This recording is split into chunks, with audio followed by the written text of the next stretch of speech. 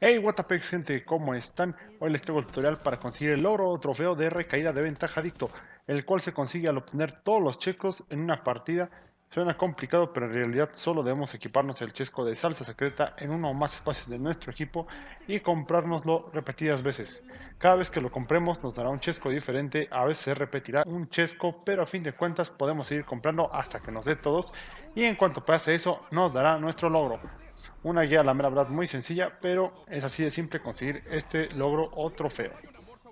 Sin más, soy Rascali y nos vemos a la próxima.